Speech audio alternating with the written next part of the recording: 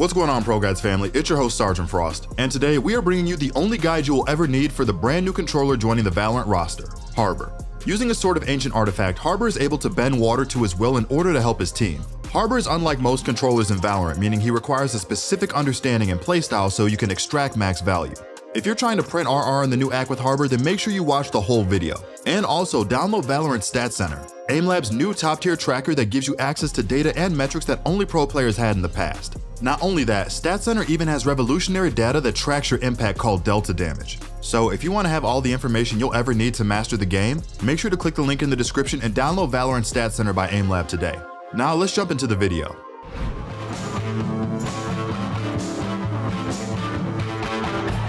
Like the other controller agents in Valorant, Harbor's kit is geared towards covering angles for your team. High Tide or his E ability is a far-reaching wall of water, similar to Viper's wall in height and length. However, you are able to bend and curve the wall similar to how you can with Phoenix's. This ability is able to be sent through walls and objects, and is perfect for covering vast amounts of space for your team. Alt firing will cut the wall short, and enemies who try and pass through the wall are hit with a short lasting slow, giving your teammates a bit more time to punish overheating duelists trying to make a play. At first glance, it may seem like this ability is straightforward, but the skill ceiling is actually pretty high. First off, this ability is on a 40 second cooldown, meaning you're able to cast this about 2 or even 3 times per round. Once the wall is placed, it stays up for almost 15 seconds, but the cooldown starts as soon as the wall is initialized, meaning that it's only about 25 seconds until you can use the wall again once it goes down. This is huge for setting up defaults on bigger maps or creating timings the enemy team needs to pay attention to. Breeze and Icebox are great examples of where this is difficult since most team comps only run Viper as their only controller. Viper's wall is fantastic for taking this space, but it's extremely choreographed and is unable to be picked up once placed. Harbor's Wall enables teams to set up elaborate fakes and take important space without committing their only long-range smoke. His addition to the game is going to change map metas and reveal plays that simply were never possible beforehand. Not to mention the lurking power it can give your teammates if you curve it through specific areas of the map. Harbor would most likely be played in a secondary controller role, since he doesn't have the precision smokes like Brim, Omen, or Astra. Instead, he falls into a more controller-initiator hybrid role since he can easily be played in a more fast-paced tempo comp. His Q ability or Cove is a smoke that must be thrown on the ground similar to Viper's Orb. Once the orb hits the ground, it expands into a brimstone-sized orb smoke, which alone in itself is fantastic for covering angles for your team or holding choke positions. The unique aspect of this smoke is that enemies are unable to shoot through the sphere since it has a kind of armor around it. This ability is like none other for helping your team complete objectives like planting or defusing the spike. There is even potential to pair this ability with something like a Sage Wall to make spamming the bomb planter impossible with a single mag. Just be careful because Viper, KJ, and Brim Mollies will all go through this armor. Once the armor on the smoke has been depleted, the smoke will disappear soon after. Now, using this ability to defend spike defusers and planters is a given. Another aspect that many people may overlook is using this in order to take or retake bomb sites. It's extremely powerful to have a utility that blocks bullet spam like a Sage Wall but is fast acting, and it can be thrown instead of placed and can be walked through. Some awesome use cases for this could be seen on a bomb site like A-Site Ascent. Walking out of heaven can feel like you're gambling your life away. Way too often are you spammed out of the smoke or end up walking into way too many angles to peek at once. With Harbor's Orb, you can throw it down on Heaven and safely drop onto site without running the risk of being spammed. On the other side of the coin, if your team is trying to run a B-side execute, his orb can be used to safely get your team onto lane without being spammed from CT or market. Everyone hates losing a team member to some unlucky spam from the enemies while walking onto site. Harbor's Cove is the fastest acting bullet absorbing utility which will be extremely valuable in limitless situations. Harbor doesn't always have to use this ability to help his team out on retakes or site takes too. This ability allows Harbor to play in locations many controllers would consider dangerous, since at the click of a button he has an impenetrable fortress he can use to maneuver or stall the enemy, and he can stall or bait for his team to buy himself time to use other abilities to block dangerous angles. It almost functions as a get out of jail free card since it takes so long to break. When this smoke is thrown, it needs to be broken by the enemy team to ensure you aren't getting any kind of lurk off through this smoke. You can use this information to make calls on where to rotate, or use it as a cue to flash your team out of the smoke.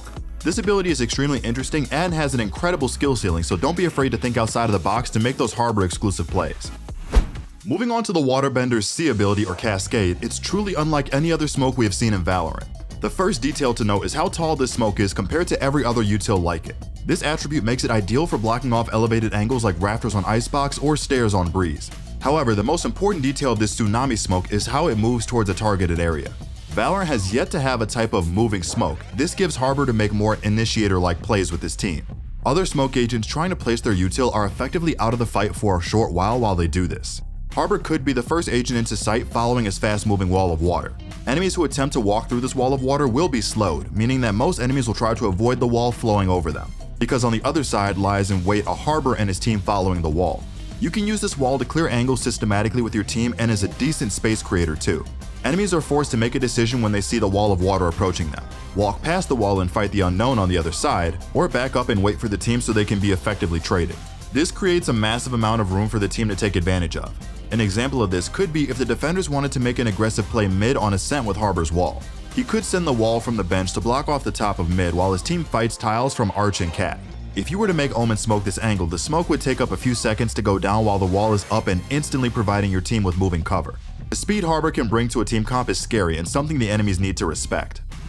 Rounding out Harbor's crazy unique kit is his equally crazy ultimate ability. Reckoning in essence turns whatever bomb site you want into an active danger zone. Enemies in this area are faced with a geyser spawning under their feet that is similar to an Astra stun. This stun can be avoided, but depending on how many enemies are in one location, it can be extremely difficult. Enemies who get caught up in the tide are stunned while a gold and purple plume of smoke are shown above their head and revealing their location. This works very much like Breach and Fade's ults for clearing a bomb site, except it's on a controller. The information Harbor's ultimate provides on the enemies is much more valuable than the stun itself. The best times for using his ultimate would be when you and your team are looking to take a bomb site or retake the bomb site. Now, the size of the ability is enormous and can be a bit misleading to how it's useful. Yes, it's perfect for clearing out large vast spaces, however, if you use the ultimate on smaller bomb sites where multiple enemies are close together, moving is almost impossible since the stuns will be overlapping on top of each other. Ascent B site is a fantastic example of where this ultimate can completely turn around for your team. If the opposing team is playing multiple people on the bomb site or back site, the stuns are going to compound on top of each other. Speaking of the compounding stuns, your teammates are not immune to these geysers. Although the situation is pretty rare for your teammates to be on top of an enemy, this can happen on A-site Ascent for example. If enemies are standing in hell when you ult for the retake, the stun will hit your teammates up top. It's important for you to be aware of this fact so you can avoid stunning your teammates mid-retake. Harbor's abilities have me super hyped to play comp and watch pro matches to see what strategies are developed. It wouldn't be surprising to see him picked up on maps with wide areas that need to be smoked off like Breeze, Pearl, and Icebox. While his value on smaller maps could be surprising, especially to avoid highly spammed angles and clear cramped bomb sites with his ultimate, what do you guys think about Harbor? Do you believe his kit is OP, underpowered, or does it fit into the meta quite well? Feel free to let us know in the comment section down below. I just hope my solo queue teammates see this video before first timing him in ranked. There are many agents in Valorant that fit into what we call the hybrid agent category. Examples being Viper as a controller sentinel hybrid since she both blocks angles like a controller while she can defend bomb sites like a top-notch sentinel or Chamber who can be considered a Sentinel Duelist hybrid because of his ability to hold down areas of the map like a Sentinel with his trip and TPs, all while contesting neutral areas of the map with the aggression and safety of top-notch duelists. Harbor is the first controller initiator type of character we have seen in Valorant, so his general playstyle is sort of a gray area. Your first and foremost job is to make sure your team always has the most dangerous and hard to hold angles covered by your utility. If you do not incorporate aspects of a passive playstyle into your Harbor games, you're gonna end up dead before your utility does all it needs to do for your squad. Remember, your main controller ability, your wall, recharges, so the more cast of this ability you can use, the more value you will get out of it round to round. The initiator aspect of Harbor is where you're really able to make the character shine, and you can truly create and execute strats that other teams simply can't do. After you establish a plan of attack around your high tide, you want to team up with your initiator player to get this fast-paced gameplay underway. Start with your signature ability to form the boundary of your attack. Use this to block the angles where the enemies are most likely to peek to catch your team off guard. Next, think of a route for your Cascade ability. This is fast moving and forces the enemy to either be passive or aggressive. Make sure you prepare for both. Pre-aim angles the wall is going to wash over where enemies might be looking to strike once the wall passes over them. If you notice the enemy team tends to be more passive, you can organize your team to flash through the water walls to make a play. Lastly, make sure you use your Cove ability to secure a safe plant for your teammate. If you feel as though there is no chance for them being killed via bullet spam, save this utility. You can use this to delay the enemy's retake, help save yourself or teammate from being cornered, or to maneuver around safely. The sky's the limit when it comes to how Harbor can work with his team. Just remember that your abilities are key and if you're finishing multiple rounds with all your utility, you probably need to reevaluate your team play. Or maybe look to change the tempo or speed of the rounds to help match your playstyle. If the rounds are ending too quickly, try to use your fast cast of your wall to take control of a neutral area like mid for example. Then, using the space you created, look to envelope a bomb site and send the opposition into a watery grave. And if you find yourself running low on time late into rounds, look to make fast moving lightning rounds where you can use your cascade and cove combo to take space and secure a safe plant. To wrap up this video, I think it's safe to say that Harbor will be shaking up the meta on certain maps in the coming future.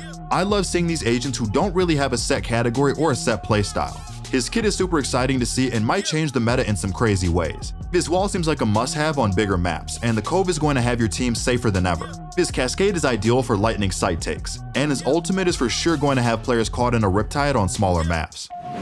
That's what we have to say for Harbor for right now. As he gets more comfortable in the meta and pro play, we will keep you updated on changes made to him and how the best in the world are washing away their competition. If you want the latest and greatest Harbor and Valorant information, make sure to like and subscribe and ring the notification bell so you never miss a video. If you're looking to improve fast this act, make sure to reach out to our coaches on ProGuides.com. This has been your host Sergeant Frost, and good luck on the grind this act.